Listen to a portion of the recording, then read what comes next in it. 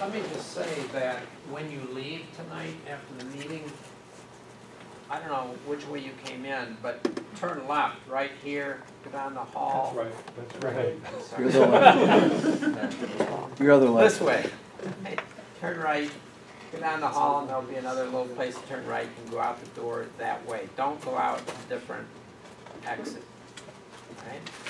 I don't think Jonathan needs an introduction. uh,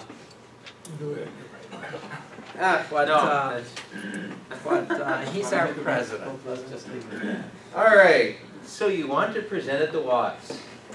Here are some tips for presenters fresh in season. Can you control it? Uh, no, I can't, I'm just, I have a copy of it here. So, first, don't. Go ahead. Don't present about the Civil War. Generally, if you're proposing a talk, we want it to be about astronomy things, so not some other realm of, of your interest. However, next, if there is an astronomy story to be told in the Civil War, we would like to hear about it. Ralph's buttons were a wonderful example of something that you wouldn't think would be astronomical, but it was definitely relevant to many of our interests. Don't bite off more than you can chew through in an hour or less. There are an infinite number of things to talk about in the field of astronomy or in any subfield of it. So whether you're talking about history or astrophysics or observing, you could talk for hours, but you have to keep editing. Next. So, edit, edit, edit. When you think you can stop cutting, cut a little bit more and see if you can get your 60 slides down to 45. And uh, just make sure that you spend enough time on each slide and you actually discuss what is on the screen. So go ahead.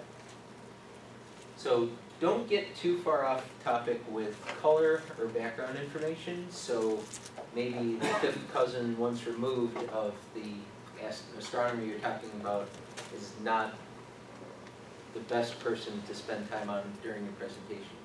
Maybe you should only have four clips from the Rocky Horror Picture Show rather than six. Uh-oh, is that locked? Yes, it is. Uh, but, go ahead.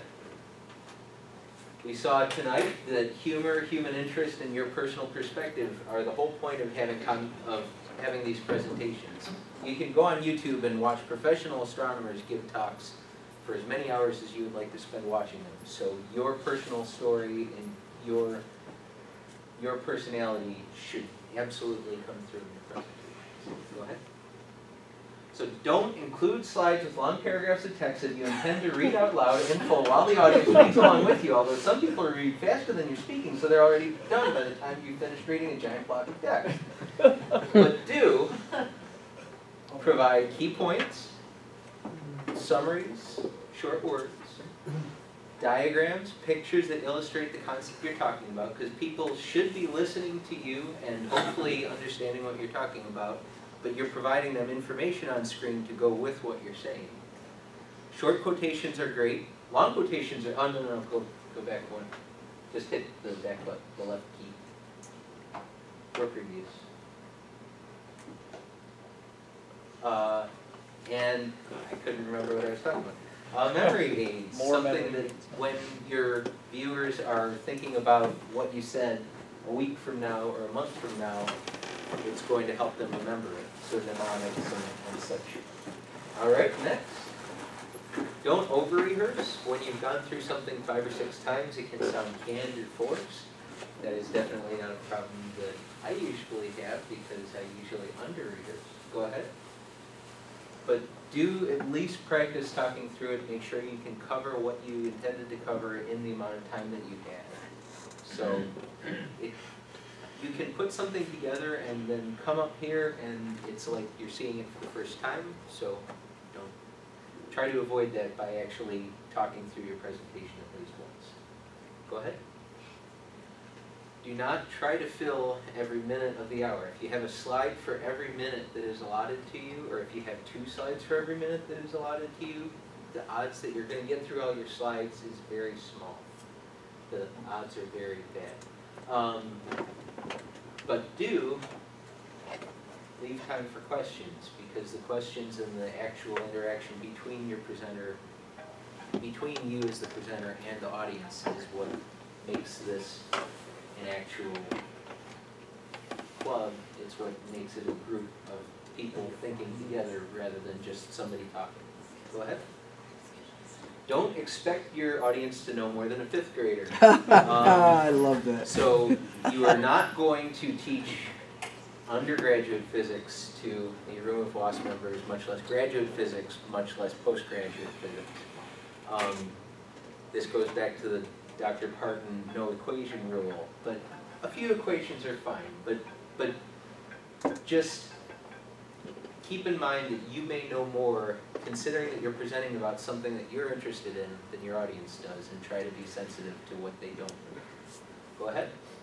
But do not treat your audience like they don't know anything about anything, because most of us are reasonably seasoned, and we have some idea what you're talking about, even if we have no idea what the equations are or how to work with them. Go ahead.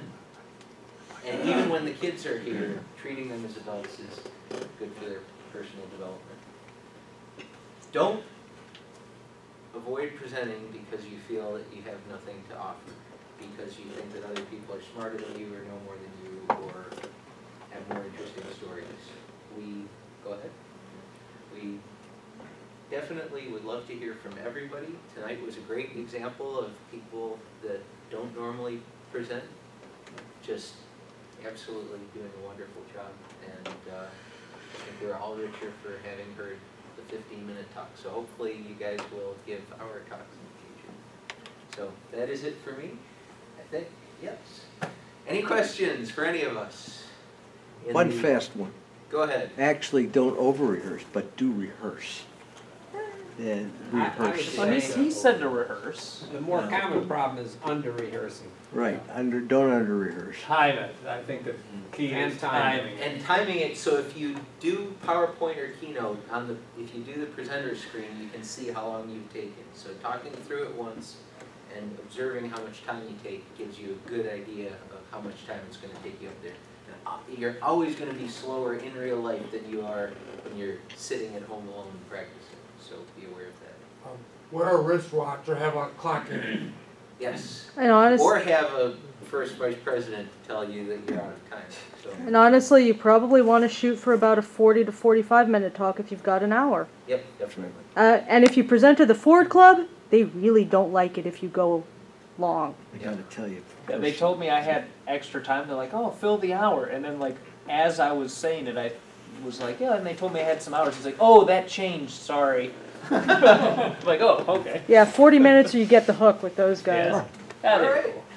Well, are there any final questions?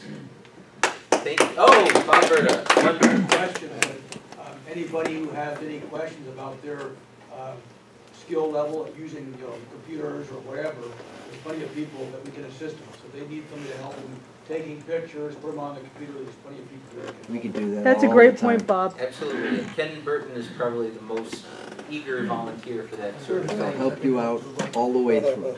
So, Alrighty, thank you for coming out tonight. I hope you had a good time and we'll see you at Cranbrook in the next one. Restaurant after the meeting. That was a wonderful yes, meeting. Well, everyone It knows was. about. Good job Cranbrook there. Great, It great, awesome. great meeting.